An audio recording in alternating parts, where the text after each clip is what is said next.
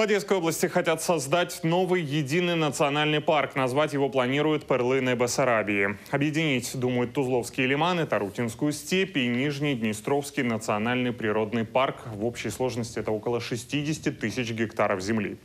Многие ученые в Одессе, в Украине поддерживают нас.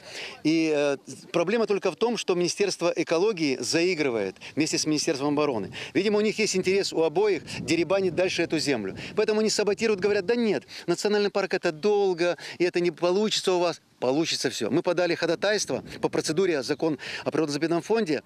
Э, есть процедура 53 статья, где любой гражданин, даже не только национальный парк, да, может подать ходатайство научно обоснованное о создании какой-то территории объектом природозаповедного фонда.